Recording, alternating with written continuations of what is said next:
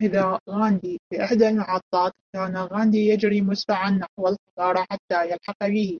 بدأ القطار بالتحرك رويدا رويدا. ما دفع غاندي للركض مسرعا إلى أن قارب على اللحاق به. فقبز قبضة تمكن فيها من الصعود إلى مقصورته الأخيرة. حين أبتسم غاندي فرحا لأن الرحلة لم تفته. أنه لم يدرك أن تلك القبضة كلفته سقوط حفردة حدائق خلف القطار.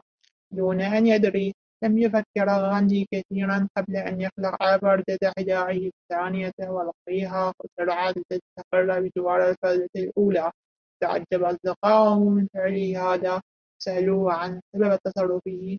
قال الحكيم غاندي لن أستطيع العودة لإدارة الفردة التي سقطت مني كما أنني لن أستفيد من فردة الحذاء الأخرى.